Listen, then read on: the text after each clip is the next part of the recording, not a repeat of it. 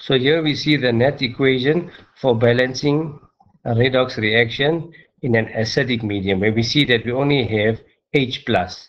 Now if we take this further, we, if we take the same equation where we have MnO4 minus SO2 and H2O giving you Mn2 plus uh, SO4 2 minus and 4H plus. If you want to balance this equation in a basic medium, then we'll see that what we have to do is take this further in the sense that we have to um, add OH minus uh, on both sides of the equation. So here we see that we have our same equation, but to balance it in an acidic, in a basic medium now, we have to add OH minus on both sides of the equation. Now, because we have 4H plus on the right hand side, we have to add 4OH minus to cancel the H plus to create water. So if you add 4OH minus on the right hand side, that means we must also add 4OH minus on the left hand side because we must balance the equation on both sides.